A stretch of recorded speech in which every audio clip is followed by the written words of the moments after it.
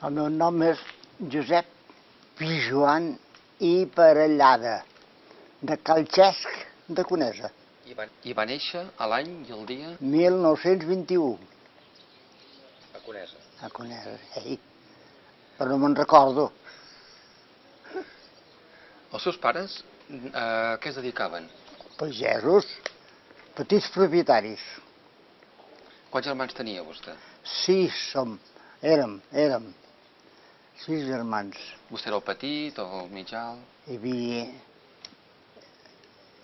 tres dones i tres homes. Eh?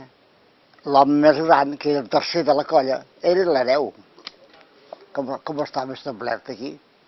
I les noies van anar casant amb, amb hereus d'altres cases, totes tres. Però una fora d'aquí, eh, perquè és fora de, de Conesa. Com era la, la vida a la seva infantesa a Conesa?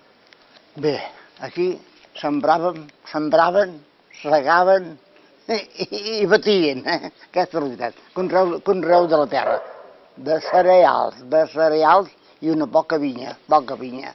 La vinya es va anar extingint de mica en mica.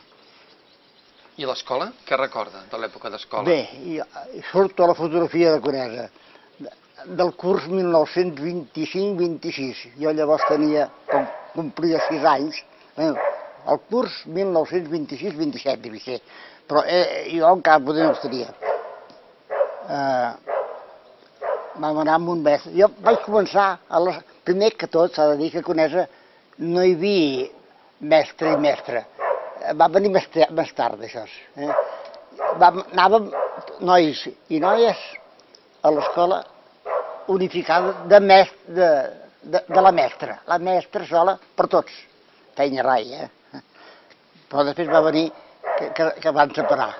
Els, els nois a la casa de, de la vila del carrer Major i les noies a la casa del forn de la vila a la plaça. Eh? Allí es van separar. Però, però jo poc o molt vaig començar a l'escola mixta. Poc o molt. I què en recorda de l'època de- d'estudi? Els companys, Bé. fins a quina edat es anava a est- a estudi? Bé, anàvem a l'escola, després ja et dic, eh, amb noi sol, eh? Noi sol. El primer mestre que vam tenir va ser el senyor Manuel, que li dèiem, que surt a la fotografia del llibre, el senyor Manuel. Eh, Era un home que no era mestre, s'ha de dir tot. Venia de la guerra del Marroc, era un antic legionari i tenia quatre coneixements, suposo, les quatre regles i una miqueta més. I, ens va ensenyar el que sabia ell. Jo hi vaig aprendre de llegir i poc o molt d'escriure i les quatre regles, això era, era infal·lible. El senyor Manuel per mi va ser, va ser la base. Era un home una mica enigmàtic, ja et dic que venia de la, de la legió. Llavors es va acabar la guerra del Marroc que tenia Espanya entaulada de segles, quasi bé. Eh? I, I mira, va venir aquí, era privat, eh? era privat, encara no era mestre nacional, perquè no era mestre, no podia ser mestre nacional perquè no era mestre, eh? la veritat sigui dita. Doncs allí vam començar, eren, pots comptar, érem, eh, es poden comptar, allí en aquella fotografia de- del llibre es poden comptar, devíem ser una vintena, no sé quants, quants eren, 20 o 25, una colla, per, per broma, per, per broma. El senyor Manuel, a més a més, llavors va tenir un, un començament bastant eufòric, bastant bé, i, i aquell home era solter, ja et dic que venia de la guerra, eh, però es va casar amb una noia de Santa Coloma, que era filla d'un fotògraf molt important, aquelles fotografies que hi ha en el primer llibre són del senyor Rosada, que era el pare de la, de la seva esposa, va ser el, pa, era el pare de la seva esposa, el Rosada, ella es deia Clementina Rosada, en castellà, però era en català, aquesta gent. Eh? I aquest fotògraf de Santa Coloma, moltes fotografies de l'arxiu de Santa Coloma són fetes pel Rosada. A més, vaig fer els decorats pel teatre, pels escenaris, per les comèdies. Era, era, un- artista, Rosada, era, un bon artista. Però no va tenir sort el senyor Manuel, perquè ell havia estat a la guerra i tot plegat al Marroc, tenia el vici de veure. Eh, i, però llavors va estar una temporada bastant, bastant sensat, bastant sensat. I al cap de l'any se li mor la dona, em penso ja de, de part prematur, tot una cosa així, eh? al cap de l'any de casat. El primer any el senyor Manuel va, inclús va fer una paròdia de- d'exàmens, d'exàmens al final de curs, amb premis i tot, va estar bé. Potser no cap més mestre ho ha fet, això, eh? La cosa va, va, va anar per aquí, eh? A més a més, el senyor Manuel, el senyor Manuel, com que venia de la Legió, ens feia fer la instrucció militar. I un 20 de maig, que devia ser dels anys 27 o 28, va fer una paròdia a la plaça de Jura de la Bandera. És curiós, això, eh? Me'n recordo com si fos ara. I els més joves, mira, tots van desfilar sota la bandera. Jo al cap d'uns anys ho vaig tenir de fer per força. Ja m'entens, eh? El senyor Manuel. Uh, a partir de l'any, del curs 29, em penso, 28 o 29, el senyor Manuel es va, es va denigrar, vull dir, va, va acabar malament. I, mol, I molts nois van abandonar l'escola. Nosaltres som dels que vam aguantar fins al final. I llavors va marxar. I llavors ja va venir un mestre nacional, que en tenim molt bon record. Després vam ser parents i tot, a casa, perquè la germana del senyor Llorenç, deia Josep Llorenç, era de Coll de Jou, de la Teixeta, ara hi ha els molins aquells, era de Coll de Jou. La, germa, la dona d'aquest senyor Llorenç va ser, era germana del que va ser el meu cunyat, casat amb una germana meva. Eh? El senyor, en que en tenim molt bon record del senyor Llorenç, que només hi va ser un curs. Jo llavors tenia 8-9 anys, ja tenia. Eh? I eh, era un bon mestre. I després en la guerra es va exiliar, era, era d'esquerres, una mica d'esquerres. En la guerra va marxar, va fer de mestre durant la república, però, però no aquí, a fora d'aquí. Perquè aquí va venir d'interí, interí. I llavors va venir el senyor Alfredo, que era valencià, el senyor Alfredo Matardona i Alegre, que, diguem, mira, jo, jo ho vaig aprendre tot allí, l'elemental. No era un bon mestre, e- era un home intel·ligent, molt intel·ligent, poder massa culte per, per la situació que es trobava- per la dona. Però de tota manera hi vam aprendre, jo vaig fer tota, tots els problemes d'aritmètica, la regla de 3, totes aquestes coses, eh, que després ens ha servit tota la vida. La regla de 3, a l'àlgebra no, hi vam, no hi vaig arribar a arribar, a l'àlgebra no hi vaig arribar a anar. Però va ensenyar a, a dues generacions quasi bé, perquè el senyor Alfredo hi va ser de l'any 30 fins al 43. O sigui, va tre... tot, tota la guerra va ser aquí, diguéssim, eh? Però jo el 35, com que complia 14 anys, ja vaig, tinc, ja vaig cessar, em van cessar, plegar de l'escola. I llavors jo vaig anar un curs i mig en una escola religiosa que hi havia a Santa Coloma de Caral, que portaven sacerdots regulars, no eren monjos, no eren monjos. En català o en castellà? mossèn, mossèn Antoni Santa Coloma, però llavors ja era la república. En català, doncs. Ah, Llavors, a llavors, a Santa Coloma tot ho fèiem en català, inclús els problemes que pintaven a la, a la pissarra s'escrivien en català, els problemes. Allí vaig aprendre molt jo. Però, però aquí, l'any 31, amb la república, hi vam tenir llibres catalans, fins llavors tots eren castellans. Eren llibres catalans molt ben fets, que eren de l'editorial del Mau Carles de Girona, que jo he estat a la seva llibreria perquè hi havia fet el servei militar al cap dels anys, el del, del Mau Carles. Eren grans professors del Mau Carles i tenim diversos llibres, jo encara els tinc, molt bons aquells llibres, molt bons, per mi molt bons. Després, clar, tot ha canviat. Parlant de llibres, a casa seva llegien alguna premsa? A casa jo sempre hi vaig veure diari, cada dia. Quin diari? Les notícies. Un diari que després una república... No, no, la república encara no. Les notícies el vam tenir nosaltres fins a la república. Llavors mon germà, que ja tenia més de 20 anys, ja en teníem la república, mon germà en tenia 24 anys ja, 23 o 24. Mon germà era catalanista de la Lliga, de Cambó, i es va subscriure a la veu de Catalunya que la veu de Catalunya, com les notícies, els van suprimir, amb la guerra els van suprimir. No, no a Franco, ja els anarquistes i aquella colla els van suprimir aquests diaris. Tots els diaris que més o menys eren de centre dreta o de dreta, com el Correu Català, que era dels carlistes, tots aquests diaris van ser suprimits. I el matí, que era d'Unió Democràtica, també el van suprimir. Eh? El Carrasco i Formiguera, que va marxar de Catalunya per, per cristià, i el van matar a Burgos per català.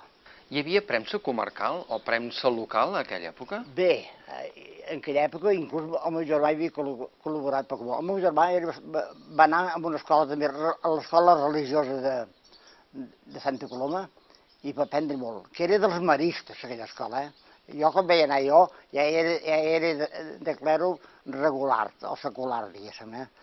Però ell va anar als maristes, que era una gran escola, em penso, molt bon, amb maristes. Jo no els conec, aquesta gent, però em penso que era una gran escola. Mon germà hi va aprendre molt, molt, molt, molt. Mon germà va ser el forjador del teatre català, coneix aquestes coses, eh, i, bastant. Després vam seguir nosaltres ja més, més tard, ja. Va canviar molt l'ambient del poble eh, just abans de la República, encara a la dictadura? Aquí, aquí l'efervescència política a tot arreu, eh? Va venir amb la República. Abans la gent eren, tu ja saps que des de la restauració del Fons 12, el 1875, fins al 1931, bueno, hem de treure, hem de treure el període de la dictadura del Primo de Rivera. El 23 s'alternaven dos partits, a tot, a tot l'estat hi havia dos partits. Els liberals, que eren mica més avançats, i els conservadors. I s'alternaven, pam, pam, pam. Els dos jefes de govern de l'un partit a l'altre, tots dos els van matar. Els van matar de mala mort. Eh, un era Gato, l'altre era... facis dir els noms. I a Conesa també hi havia aquest bipartidisme. Aquest era, era tot arreu, el bipartidisme. Però els pobles es feien topinades. I a vegades, i a vegades depenir de pocs vots, portaven, eh, que, que ho signava el jutge, les actes dels diputats. Ah, s'ha d'advertir, només votaven els homes majors de 23 anys. Majors de 23 anys, eh? No fou fins a la República que es va baixar la majoria d'edat a 21. Després va ser a 18 i ara ja entrant a 16 no en cap de manera, però és igual. No, eh, va anar baixant això. Per què? A la República les dones no van poder votar no, a, aquelles eleccions de, del 31, del 12 d'abril del 31, les dones no van poder votar. Què recorda vostè de la proclamació de la República I tant. Conesa? Què recorda? Com va anar tot? Aquí, no, si, m'ha- si em pas explicar el de Barcelona, també ho sé. L'Alta Conesa va ser, molt, va ser molt sim- simple. El dia 14 d'abril de 1931, el, el secretari de l'Ajuntament va hissar una bandera republicana que l'havien confeccionat aquí, a Cal Pau, de la Font, eh? Amb, amb, tres, amb tres trossos de roba, vermell, groc i morat. Grossa, una bandera grossa, eh? D'aquestes... I, I després al costat una més petiteta catalana. El dos, la casa de la vila de baix, eh? Perquè la d'aquí aquí dalt e- era l'escola de les noies, no en parlem, i el pis de la mestra. I, i va ser a les dues de la tarda del 14 d'abril de 1931.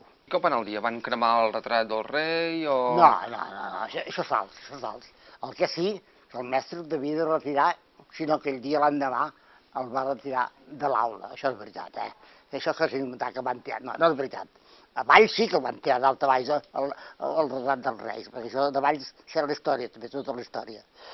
No, simplement. I també es va treure, però fins quan la Constitució es va declarar laica, van treure el Sant Crist, perquè la Constitució, que la van elaborar l'any 32, es va proclamar el set- el 33, la República es va proclamar laica, aquí no, re- no, no religiosa.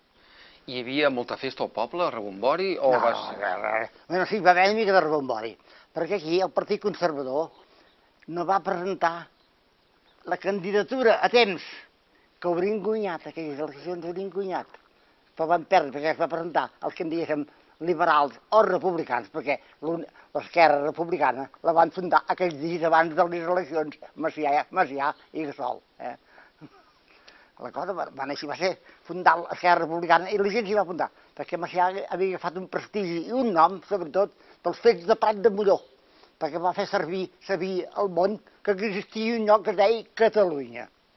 Perquè una colla de, de celebrats van voler invadir Ca- Catalunya per Prat de Molló, eren 40 o 50 només.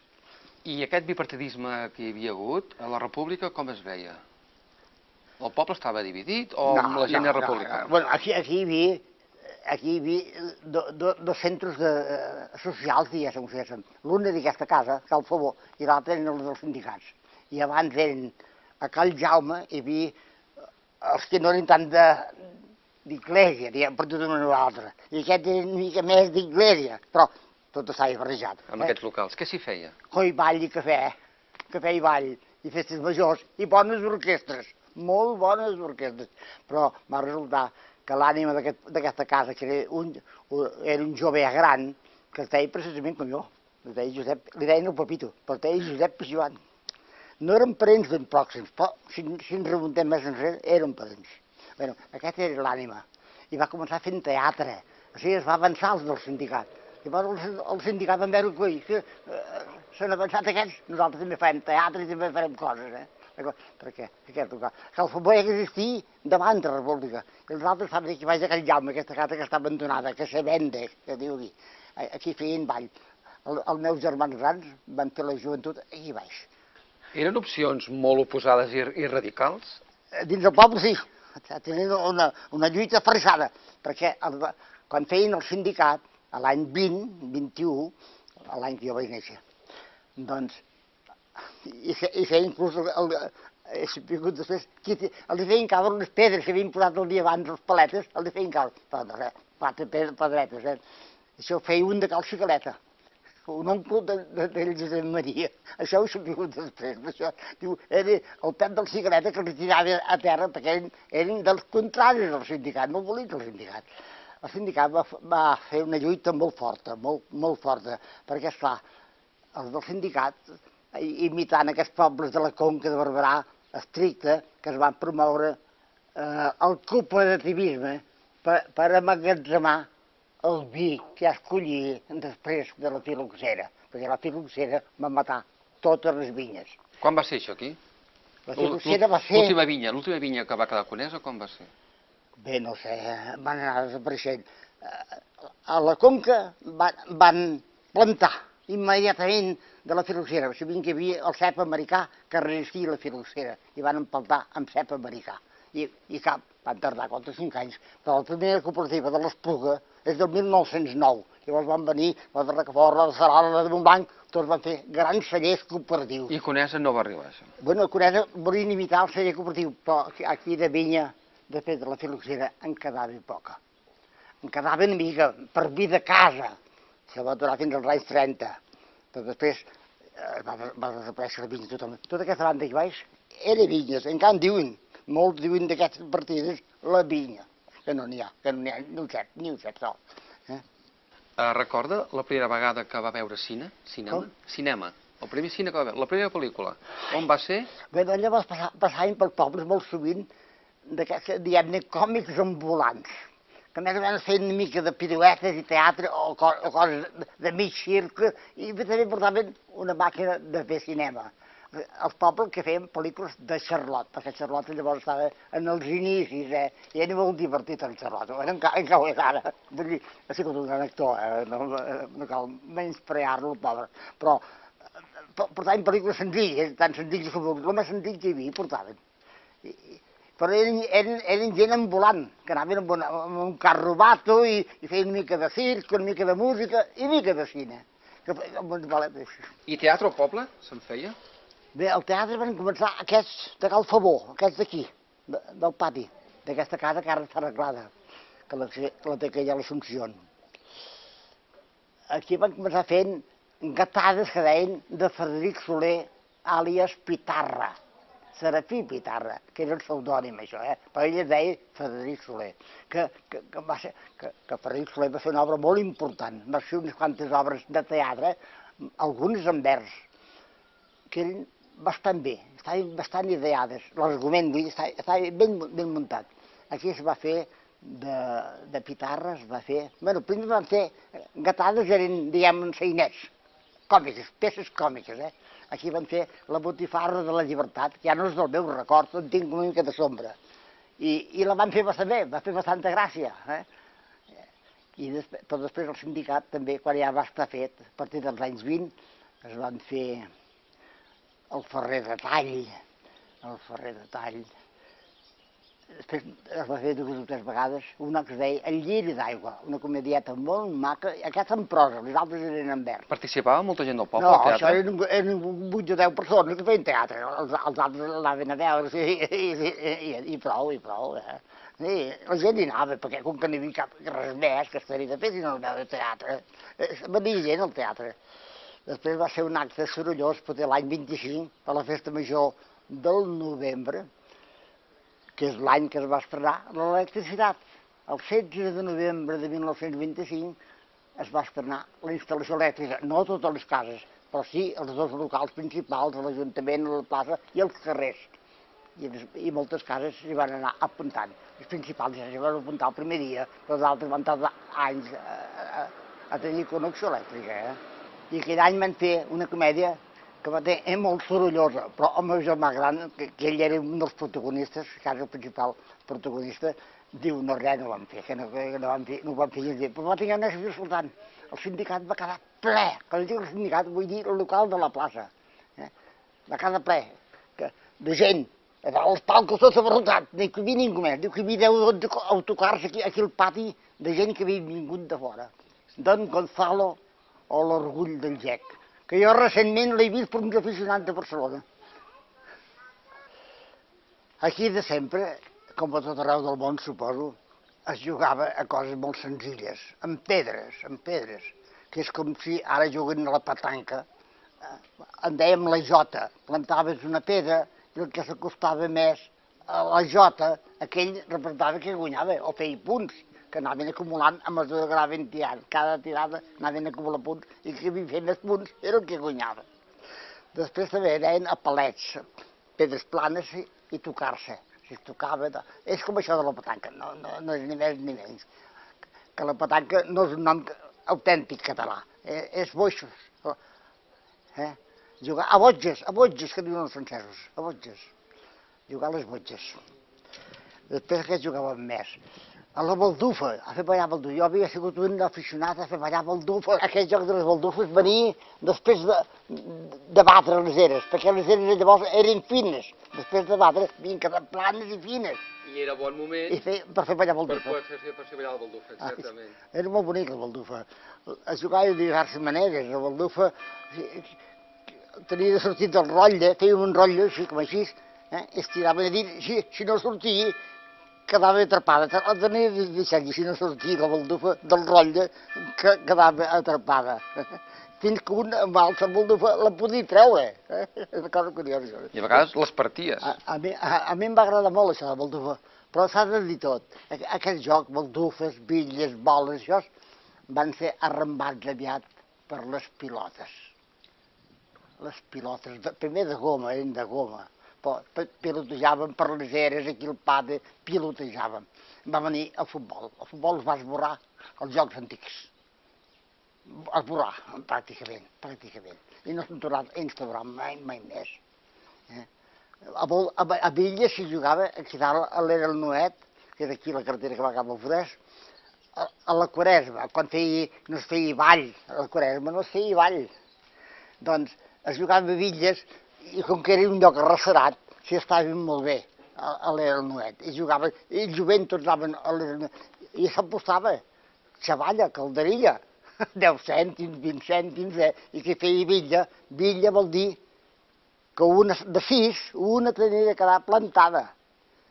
Si queien totes era llenya, però si quedava plantada allò era guanyar, allò era fer villa. I el primer camp de futbol on ho van fer? El primer camp de futbol ja no és del meu record, eh? Es va començar a jugar a futbol aquí pels anys 23, 24, jo tenia dos anys. Es va començar a jugar a futbol, sí, això mateix, a l'any 23. Es va començar a jugar a futbol i el primer partit que van fer, uns quants replegats d'aquí, a Guimarà, el dia de Corpus de 1923. I qui va guanyar? Van guanyar Guimarà llavors tenia 1.500 habitants, eh? I quatre replegats de Coners van guanyar per 5 a 2 el de Guimarà. Això està escrit, això està escrit, eh? Ara anem més per política. Els fets d'octubre, com van anar a Conesa? No, no, no va tenir cap descendència. Ja t'ho vaig dir, em sembla, l'altre dia, això. Algú, algú, que no sabem qui, però no el secretari ni l'alcalde, van col·locar a la part més alta de la casa de la vila d'allà baix, que hi ha un lloc per plegar banderes, una bandera amb, amb l'estel, amb l'estel blau. Si parlem de l'estel de de 5 puntes o 6 puntes, va ser una idea de Gassol, això. Que quan els, després dels fets de Prats de Molló es van exiliar ells a Amèrica a predicar Catalunya. Ventura Gassol i Francesc Macià. Per què? L'ànima dreta de Macià que era militar, s'ha de dir tot, en tinent coronel, una cosa així, eh? Era Gassol. Gassol era un ex-seminarista. Ah, espera que t'ho vaig explicar això, perquè molta gent no ho saben. I quan va venir aquí en Macià, el Ventura Gassol va anar a saludar el rector de la parròquia, mossèn Ramon Comas, que havien estat junts al seminari. Em pot explicar l'avinguda de Macià a Sí, Conesa? però, però va ser mo- molt improvisada i molt, i molt... És a dir, que ningú ho sabia. Segur que el, el dia de Sant Joan de 1924, al matí, ningú sabia que, que la tarda vindria Francesc Macià.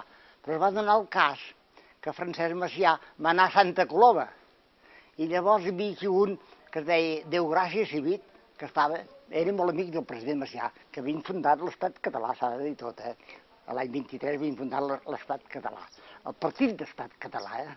I, i llavors, per influència d'aquest Déu Gràcia Civit, emparentat, en què és de Calgomà, o Mundi d'ara, doncs el va fer pujar. Hem d'anar a. Era les 6 de la tarda del 24 de juny, que la tarda és llarga, eh? la tarda és molt llarga. I van, van improvisar dos arts de pardissa, com ara de per aquí, de d'allà, dos arts de pardissa, van fer un art de pardissa allà dalt a la cartera i un altre a mig, a mig del Raval, allà davant del castell, una miqueta més amunt encara, allà on viu el comerciant d'ara. Doncs dos arts de pardissa i unes noietes de les maques devien ser doncs, que penso que els noms i tot, doncs els van oferir un ram de flors, que, que menys, que menys. I llavors tothom, llavors al poble hi havia 500 persones, o potser passaven.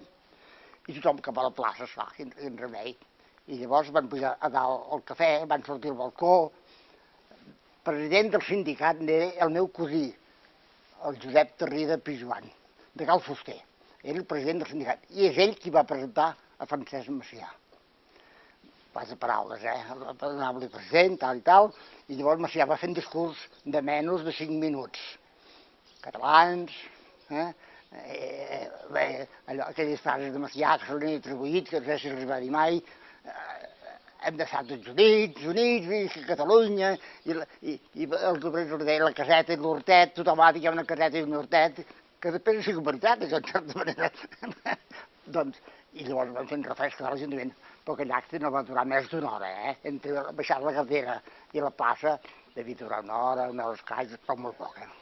Hi ha algun- alguns fets que siguin remarcables durant la República aquí a Conesa? i fets remarcables, com en altres llocs hi va haver, perquè la República va crear l'eslògan, que llavors tenia molt de poder, eh, els rebassers. Era el partit que en deien Unió de, de Rebassers de, Cata, de Catalunya. Els rebassers, sobretot, eren llocs de vinya del Penedès, sobretot, aquí, aquí al Penedès, potser en altres llocs també, però els rebassers va sortir el crit de la terra pel qui la treballa. La terra és, és, va ser un eslògan dels més repetits de la República. La terra pel qui la treballa. Però no tothom afectava això. I aquí a Conesa com va arribar això? No, no, això, això va venir per la, per, la, per la premsa, però aquí no va afectar ningú, eh? Ningú va reivindicar, cap amo va reivindicar, ni va canviar les condicions de ningú. Això, aquí a Rocafort ja, ja, ja hi va haver més cosa. Alguns, alguns forcers, alguns forcers que van reivindicar quan els fets d'octubre llavors els van fer fora. I llavors, com va venir el 18 de juliol, els uns van matar els altres. Anem aquí. Uh, L'inici de la guerra, què recorda vostè el 18 de juliol? Com va anar? segàvem, hi havia molta collita, hi havia grans, perquè ja, ja treballava jo. Jo vaig anar a l'escola, perquè anava a Santa Coloma, t'ho he dit, fins al 15 de juliol de 1936. Al cap de tres dies hi havia, hi havia la guerra. Jo, jo llavors feia una cosa que se'n deien la tenedoria de libros, o tenedoria de llibres, que era, que era la comptabilitat, que és el que tothom havia fet, comptable. Jo encara m'atreviria a portar la comptabilitat d'Endesa si m'ho deixessin fer. Ja m'entens? Perquè la comptabilitat no ha canviat, ara es fan amb ordinadors aquestes coses, però no, no parlem d'això. I com va anar aquí a Conesa el 18 de juliol? El I, a, 18 I a partir del 18 de juliol està clar. El 18 de juliol segàvem. I jo sempre segàvem i tot. I teníem un mosso que era una mica, xo- una mica xolorat. Bueno, xolorat no, era jove, era un home jove. I, i ens, va, ens va assabentar que havien entrat al cafè que hi havia en Ràdio Gramola, que hi havia hagut un moviment dels militars a la nit aquella, eh, del 18 de juliol. Això ja era el 19 que, ens- que, ens, va, que ens va arribar la notícia. Perquè llavors hi havia ràdio. A casa també en teníem de ràdio. En faria, feia dos o tres anys que teníem ràdio. S'escampava la ràdio. Poder, va, a Conesa hi havia una dotzena de ràdios, no gaire més. Poder no arribava a dotzena. Pel sindicat ni no tenien de ràdio. Tenien un ràdio gramola.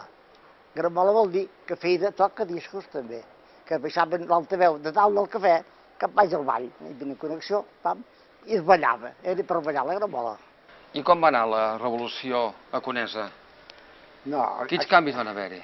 aquí el que va passar, els primers dies no, no, no es va notar res, la gent, però van venir uns quants celebrats de Santa Coloma el dia 24 de juliol i van entrar a l'església, els devien donar la clau, no sé, i van començar a tirar imatges a terra i a cremant algunes, només algunes, eh? només algunes. Eh?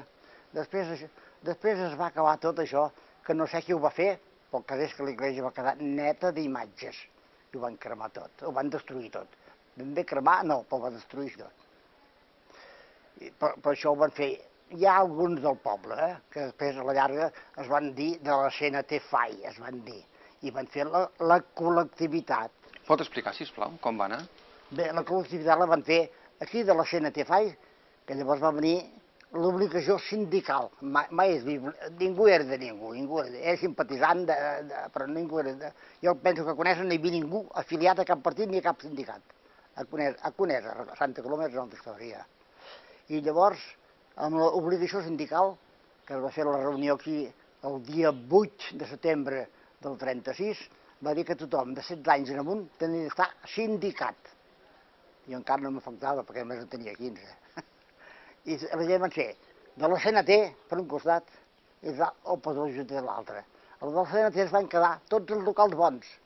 L'església, la rectoria, el sindicat, tots van quedar els de la CNT.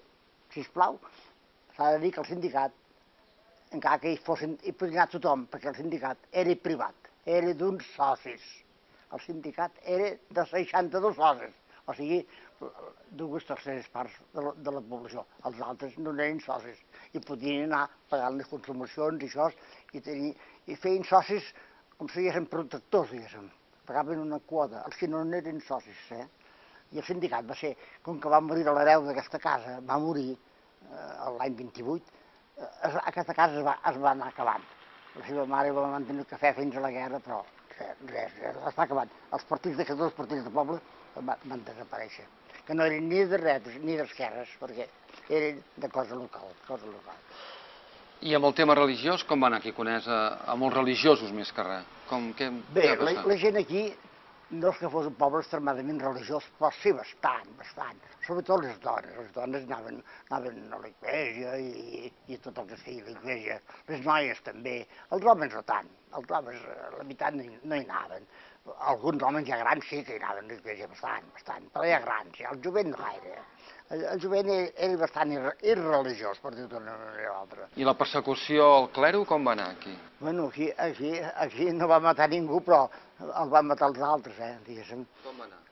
Aquí mossèn Tomàs, que era un, un sacerdot culte, molt culte, però una mica valent, valent.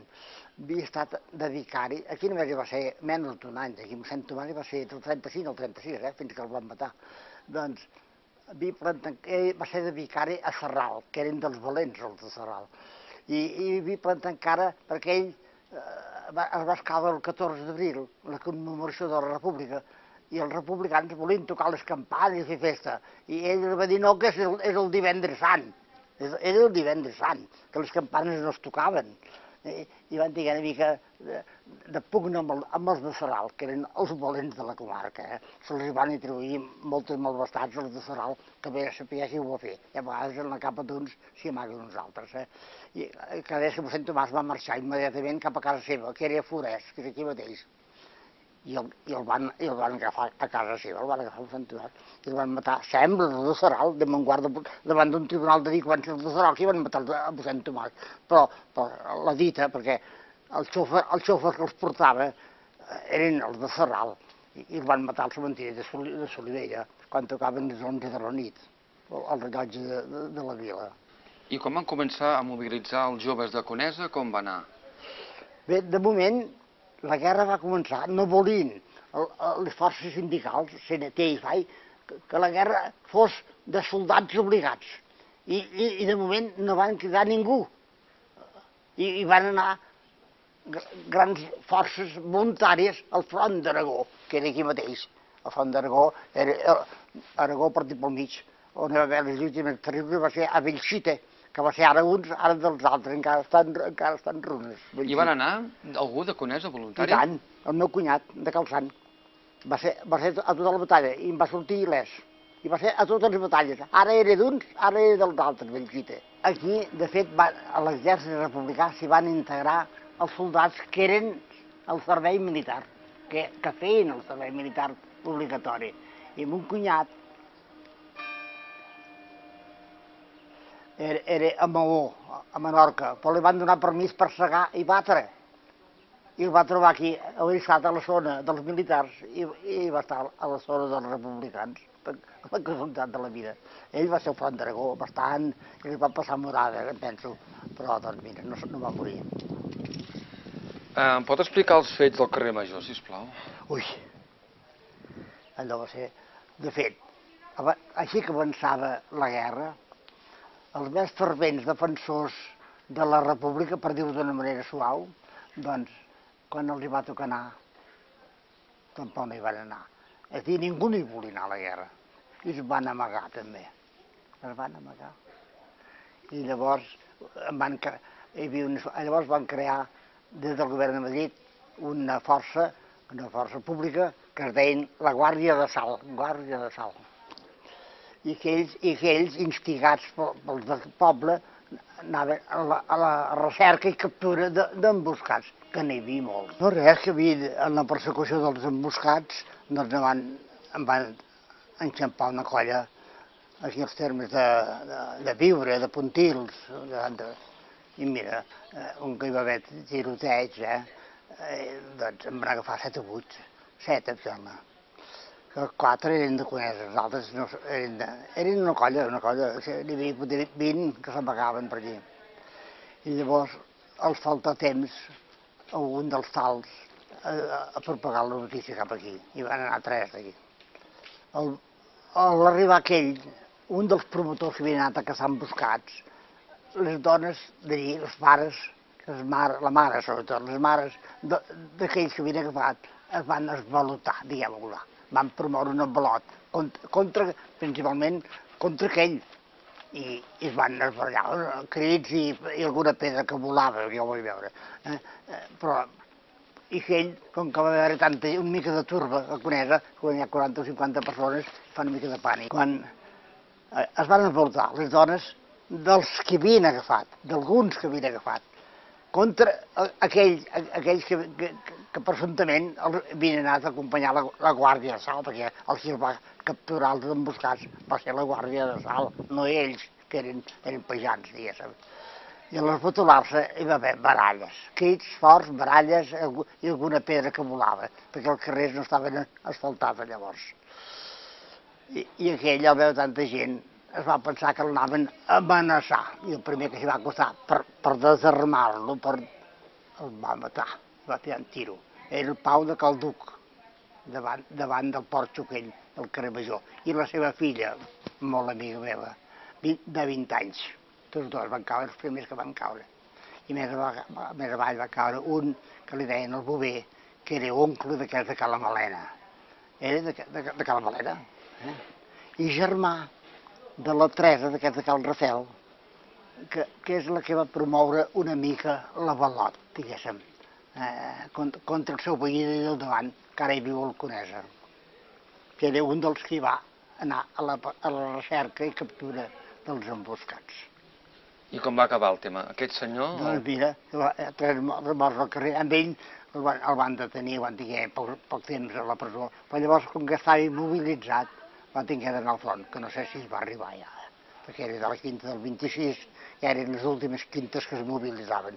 Això era l'any 38, eh? Alguns fets més eh, remarcables durant Bueno, la guerra aquí també van, aquí als boscos també van agafar tres emboscats.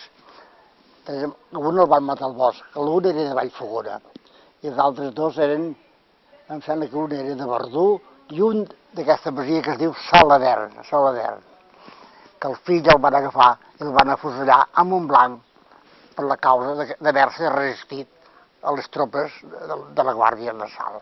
Devia, devia algun tiro, el van afusellar al, al cementiri de Montblanc. Què recorda de com va acabar la guerra? Ui, Com va ser tot plegat? bueno, el, re- el règim de Franco ja se n'ha parlat prou, va ser un, rei, un règim dictatorial i no, i, no, i no parlarem més, perquè va durar 40 anys, això ho sabeu més vosaltres que jo ja. jo, jo, jo vaig marxar de Conesa l'any 41, eh? Com va ser el final de la guerra conesa? No, no res, no res, no res. Així, de fet, s'ha de dir veritat, la gent estava cansada de guerra. I d'aquí va haver el fenomen dels emboscats, perquè no volien anar a la guerra. I no per ideologia ni res, perquè estaven cansats de guerra. Els soldats que passaven per allí, quan marxaven de, l'Ebro, perquè marxaven a la desbandada. Nosaltres vam atendre dalt que, que treballàvem, que deien, deien això demanaven poc com el menjar. Els donaves una llesca de pa si en tenies, va. I, I deien, escolta, que passi el que passi, però que això s'acaba. Perquè la batalla de l'Ebro va ser una cosa de, infer, infernal. Allí van morir tots els dos exèrcits van quedar xafats, eh? Però el republicà és fet, eh? Ja no va poder res més. La batalla de Catalunya va durar 50 dies, eh? Per traspassar des de l'Ebro fins a la frontera, 50 dies justos, ni un ni més ni un menys. I, el- Eh, quin dia van entrar els nacionals a Conesa? el dia 14 de gener, a les 3 de la tarda del 1939. I d'on entraven, d'on Per venien? aquí, pel- pels camins de Forès. Baixaven, llavors hi havia camí aquesta carretera, no, no hi era aquesta carretera. Van baixar els primers soldats per aquest, per aquest barranc van baixar, a les 3 de la tarda. Jo no hi era allà, llavors aquí, jo estava mig amagat. Ja. I la gent del poble com ho, ho va rebre? El, va, el va rebre amb eufòria. Això es pot dir. A- Apotòquic. Es va reunir tothom a l'església. I un soldat, un soldat, un, un capellà que es prendre, que, per cert, aquí va entrar la divisió Littorio, italiana. Eh, eren tots italians, aquells xicots. Anaven d'avantguarda. L'endemà potser anaven de segona línia, però aquí, aquí van entrar d'avantguarda la divisió Littorio, amb el general que la manava. Si em faig el nom, el sé, però no, no, ja no el recordo, el general. Eh? Eren feixistes. Aquests xicots venien d'una guerra que Mussolini va engegar a, a Abissínia. Eh? I, i, I aquí es van venir a, a desfogar, que van rebre un gran descalabro el dia que van voler entrar van poder entrar a Madrid, abans havien tingut un descalabro a l'entrada de Madrid, que no hi van poder entrar, que no hi van entrar mai a Madrid, perquè eh, fins quan se va acabar la guerra no van entrar a Madrid, de republicans. Quants dies s'hi van quedar aquí? Bé, van passar, i la- les remiscències de la guerra va, va durar dies i setmanes. Jo em penso que hi gent que, que es camuflava, que es, fe- anem, anem passant per aquí, anem arreglant alguna cosa, i... No, bé, però la, la guerra va passar. Van arribar a la frontera al cap de 50 dies, eh? I els emboscats van anar sortint, oi? Tots, l'acte? tots a l'acte. Al, alguns, poder, eh, molt més que no haguessin sortit, perquè, perquè alguns van, van parar en camps de concentració. Van parar. Els soldats allò, representaven que aquells emboscats, com que eren de quinta, eren presoners de guerra. Oh, Eren captura de guerra. I alguns van anar a raure en camps de concentració, que encara alguns ho recorden, que s'ho van passar bastant malament, diguem. Els camps de concentració, ni que siguin dels uns ni dels altres, s'ho van passar molt malament. Si no pregunto als que van anar per a França, que els van passar morades. Aquell mig milió d'espanyols que van anar als camps d'Argelers, de Sant Cebrià, de, del, de, del Rosselló, els van passar morades. Va marxar molts de Conesa a l'exili? Sí, una dotzena de persones, una vintena de persones van marxar. Van tornar... Van marxar tota una família d'aquell que havia fet els morts, els morts al carrer Major. Aquella gent ja eren cinc o sis, set poder eren. Amb els avis, set o vuit eren ja. Cinc, ell tenia, tenia tres fills, i el matrimoni, i després els seus pares, i una filla soltera d'aquest, eh, d'aquella família sol van marxar almenys vuit persones ja, d'aquella família. Després van marxar uns d'aquí de Cal que també eren quatre o cinc, una vintena de persones van marxar, una vintena de persones que van per a França, que no van tornar mai més, pràcticament, eh? No van tornar mai més. I amb l'entrada dels nacionals, el nou ajuntament com va quedar composat? Bé, gent més o menys de dretes, diguéssim, eh? gent més o menys de, dre diguem de, de dretes, de dretes o, o conservadors, només diu així. Perquè Repressió? jo, te, jo et deia que a Coresa estic segur que el 14 d'abril de 1931 no hi havia ningú afiliat a cap partit ni cap sindicat. Estic segur. La gent era del sindicat o de Cal Favor, però era una cosa de poble, això. Eren dos bàndols d'un mateix poble. I la repressió, els primers, els primers anys de Bé. la dictadura, com van anar? Bé, algunes persones que havien tingut cases van anar a la presó i quatre van ser fus- afusellats. Eh? L'un perquè era jutge, l'altre perquè va ser alcalde, i l'altre perquè van ser del comitè. Eh? I això el poble com ho va rebre? Bé, el poble es va demanar indult, em penso que quasi tothom va demanar indult, però Els quatre. Per tots quatre, sí. No sé si tothom va, firmar l'indult, no ho sé, però la majoria de la gent van firmar l'indult. Sí, I no va servir per res. Eh? I no va. Bueno, aquells judicis samaríssims eren consellers de guerra que no hi havia possible en la defensa. Eh? Pot ser que algú d'aquells ningú hagués fet cap mort ni no li fa mai cap, però tenir responsabilitats polítiques per haver tingut càrrecs, càrrecs, càrrecs. Perquè el càrrec ha de defensar, ja ha de posar al davant. Un càrrec representa una responsabilitat. Jo em penso que ningú de, de Conesa va matar ningú. No, no m'ho fessis dir perquè no ho sé, eh? Una cosa que no ho he vist, no sé, eh, podria dir. A mossèn Tomàs tothom va dir, almenys ho va escampar, el xofer que els portava, el van matar els de Serral. Perquè es veu que va fer mica, a dalt a Forès van fer, li van fer una mica de judici a mossèn Tomàs, però els de Serral, si no l'haguessin no, no mort, els de, els de Forès, els de Conesa, els haurien mort els de Serral, no se'ls no hi podia escapar. I aquests quatre que havien tingut càrrecs polítics, com va rebre el poble la, la seva Bueno, execució? allò va ser una tragèdia, també, una, una tragèdia. Matar, matar gent és, és una tragèdia, és una tragèdia. Molt lamentable, molt lamentable. Jo estic segur que, que aquells quatre no tenien tanta responsabilitat com d'altres que van marxar cap a fora, cap a França, vull dir. No, no en tenien tanta. Aquells altres també els havien mort per això, eh? Falange, com, com va anar? Es va intentar l'euf- l'eufòria, una mica de, de falangisme tot això, però va durar poc. El que ho va organitzar, això ho he sabut després, perquè jo era a Valls. El- Quan va ser alcalde del Munde, l'any 47, va organitzar el Frente de Juventudes i els va comprar uniformes i tot, el jovent, eh, verme, eh, la, la boina vermella i la camisa blava, el Frente de Juventudes, no, no més relleu, eh? no, no, no hi havia més relleu. No va passar res més. No, no, no, no. A més a més, allò va anar eh, esllenguint, esllenguint, esllenguint, i, i el règim va durar 40 anys, per això, eh? I l'ambient al poble els primers mesos de... de No, franquisme aquí- com era? Com? No, no, no, sí que hi havia recels, perquè, alguns al haver estat en camp de concentració i a la presó, això causa malestar, eh? causa molt malestar. I, i, la- la gent volien, volien viure, volien estar en pau amb tothom. Em penso que la majoria de gent volien estar en pau amb tothom. La, si hi algun i, i el, el, el, el va afectar la guerra per morts, a, per morts a l'Ebro, aquell es fa. Ha el, el que ha tingut morts a la guerra, hi ha un ressentiment que mai no s'acaba. Un ressentiment de dir, per, què m'ha tocat a mi? Per què Aquest sentiment s'ha acabat? O encara la- l'arrosseguem?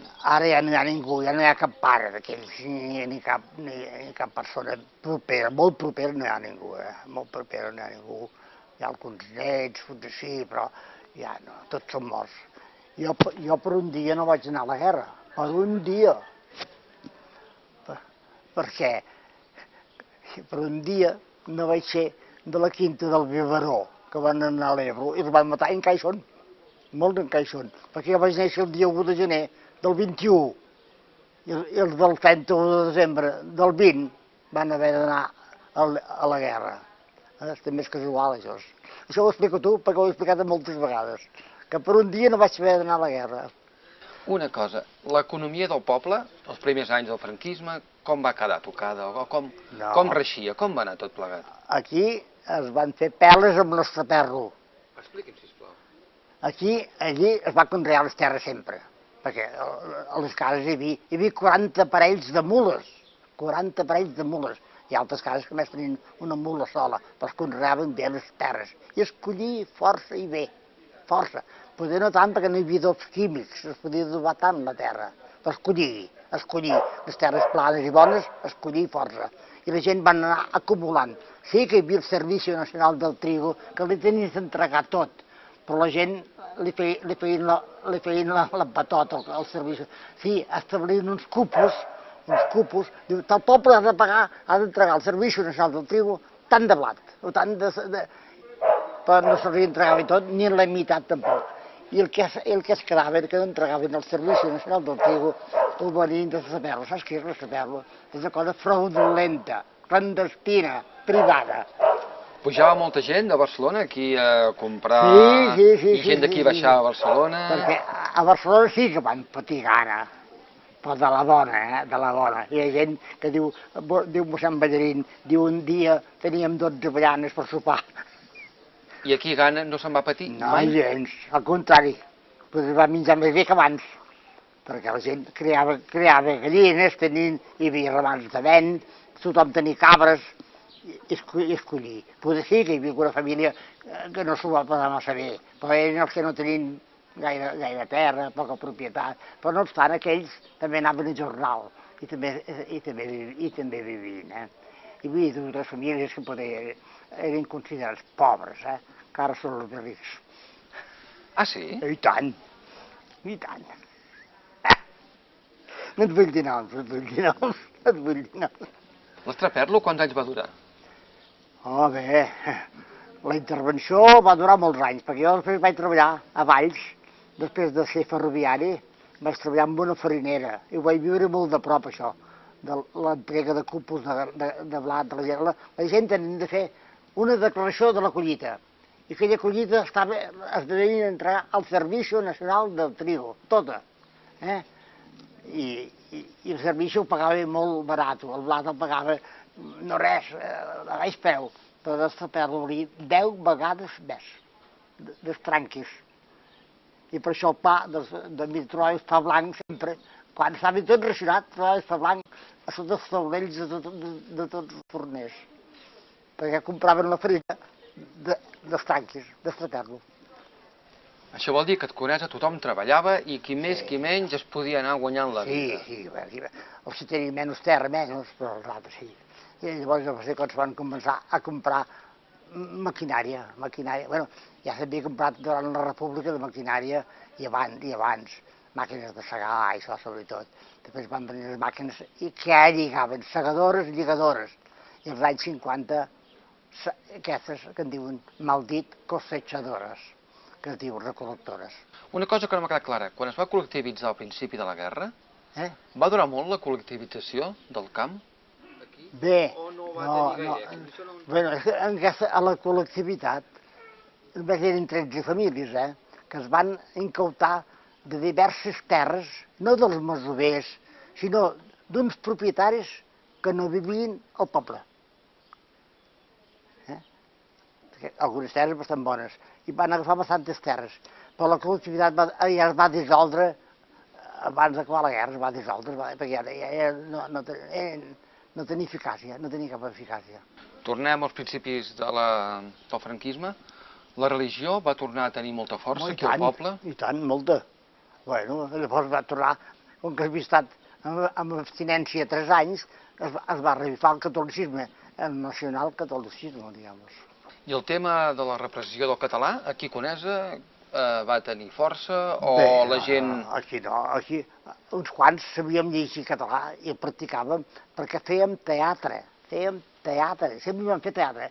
Al cap de nou dies d'acabar-se la guerra, el nostre grup, que jo hi era més o menys, feia de director canonera, perquè tots érem directors i tots érem actors, ja vam fer el 9 d'abril de 1931, 39, que havia acabat el dia 1 la guerra, els fills sortia el servidor, i sortia el duc, i sortia el Lluís, i sortia el Berguedà, l'home de l'Amparo, eh, i sortia l'Amparo, també hi sortia l'Amparo, feia de minyona. La Pilar, la Pilar feia de, de, de, de galant jove, de noia jove, eh? Era aquest el que havíem fet al cap de vuit dies que es havia acabat la guerra, el dia, el dia de Pasqua de l'any 1939. I per acabar, eh, què li sembla que avui dia els nets dels que van viure aquests fets vulguem recordar Val més, val més no retreure, perquè ara són nets o besnets ja, eh? Besnets. Hem de remoure el No, ja no, en soc partidari. Això de la memòria històrica no m'agrada gens, gens, gens, gens. Això que, prom que ha promogut el Saura, que no, que no és de la meva talla, no m'agrada, no m'agrada gens. Mal, malmès que les coses, deixar-les morir quan ja estan mortes, enterrar-les. No en soc partidari.